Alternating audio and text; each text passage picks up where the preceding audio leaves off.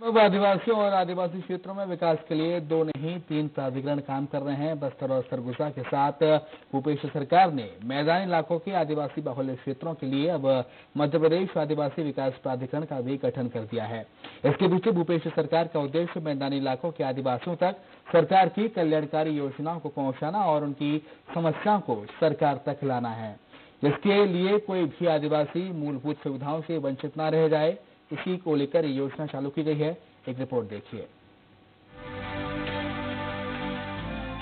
ये तस्वीर 30 नवंबर 2019 की ही है, जब मुख्यमंत्री निवास में मध्य क्षेत्र आदिवासी विकास प्राधिकरण की बैठक आयोजित हुई थी। बैठक में मुख्यमंत्री के साथ मंत्रिमंडल के सदस्य मौजूद थे। साथ ही मौजूद थे मध्य क्षेत्र आदिवासी प्राधिकरण के अध्यक्ष लालजीत सिंह राठिया और उपाध्यक्ष पुरुषोत्तम कंवर और लक्ष्मी ध्रुव। दरअसल मुख्यमंत्री ने बस्तर और सरगुजा की तर्ज पर मध्य क्षेत्र आदिवासी विकास प्राधिकरण का भी गठन किया है। गठन के साथ ही उन्होंने इस प्राधिकरण की ज़िम्मेदारी आदिवासी विधायकों को दी है। इस प्राधिकरण के पीछे मुख्यमंत्री का उद्देश्य यही है कि बस्तर तथा सरगुजा विकास प्राधिकरण के सम्मिलित जिलों के अतिरिक्त शेष आदिवासी उप योजना क्षेत्र के विकास की अल्पकालिक तथा दीर्घकालिक योजनाओं के निर्माण, क्रियान्वयन की समीक्षा की जा सके, उसका विकास किया जा सके।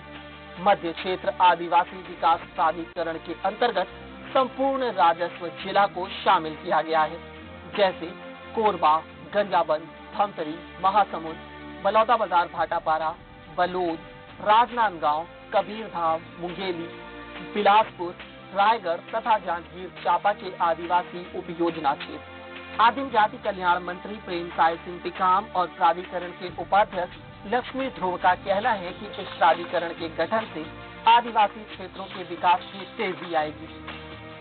क्योंकि सरगुजा और बस्तर जो बड़े आदिवासी ज़िले हैं बहुत बहुलता में हमारे आदिवासी हैं। लेकिन सामान्य क्षेत्र में भी कई आदिवासी रहते हैं जो माडा पॉकेट के रूप में रहते हैं, कोई कोई सीमित क्षेत्र में रहते हैं तो मध्य क्षेत्र में भी आदिवासियों के हित के लिए वहाँ भी एक मध्य क्षेत्र आदिवासी विकास प्राधिकरण बनाया गया। उसमें भी एक आदिवासी विधायक को उसका अध्यक्ष बनाया गया, उसको कैबिनेट मंत्री का उसको दर्जा दिया गया और दो माननीय विधायकों को उसमें उपाध्यक्ष बनाया गया, उनको राज्य मंत्री का दर्जा दिया गया।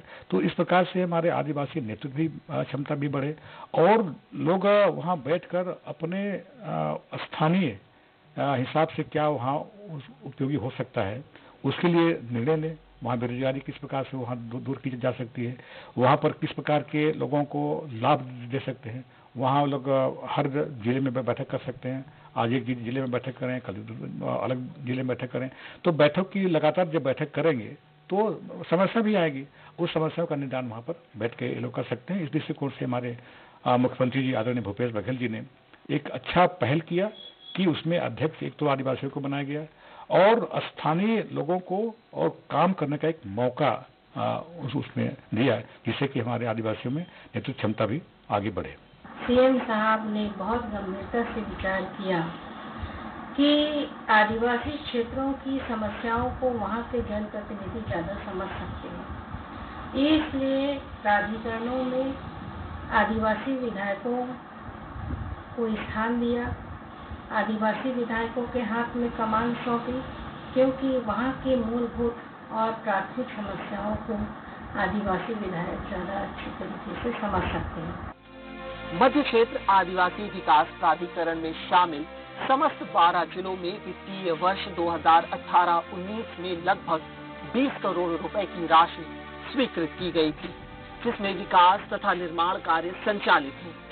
वहीं वित्तीय वर्ष 2019 और 20 में करीब 18 करोड़ रुपए विभिन्न विकास कार्यों के लिए स्वीकृत किया गया है। लक्ष्मी ध्रुव कहती हैं कि प्राधिकरण के अंतर्गत आदिवासी क्षेत्र तथा ग्रामीण अर्थव्यवस्था के लिए अति आवश्यक कार्य तथा आदिवासियों की संस्कृति के परिरक्षण के लिए आवश्यक सभी कार्य लिए जा सकेंगे। आदिवासी क्षेत्रों में शिक्षा, स्वास्थ्य, पेयजल व्यवस्था, जल संरक्षण पशु सेवाएँ और कौशल उन्नयन काम बेहतर तरीके से हो सकेगा।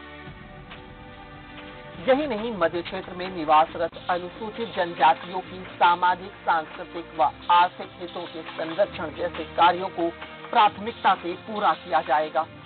वास्तव में प्राधिकरण से मैदानी इलाकों के आदिवासी बाहुल्य गाँवों को इससे बड़ा लाभ मिलेगा। कह सकते हैं, सरकार आदिवासियों के और करीब होगी। साथ ही मैदानी क्षेत्र के आदिवासी भी प्राधिकरण के माध्यम से सरकार तथा अपनी बात पहुँचा सकेंगे। भूपेश सरकार के इस निर्णय को मध्य क्षेत्र के आदिवासियों के लिए सबसे सकारात्मक कदम कहा जा सकता है। सहयोगी तोमन लाल सिन्हा और सत्यपाल सिंह राजपूत के साथ वैभव शिव पांडे, स्वराज एक्सप्रेस, रायपुर।